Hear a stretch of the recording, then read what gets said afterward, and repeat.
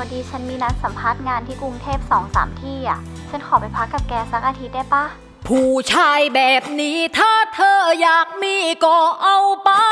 ฉันยกให้ เก็บเอาไว้ใช้ฉันหาไม่ได้ฉันให้ฟรี เพราะว่าการแย่งผัวของชาวบ้าน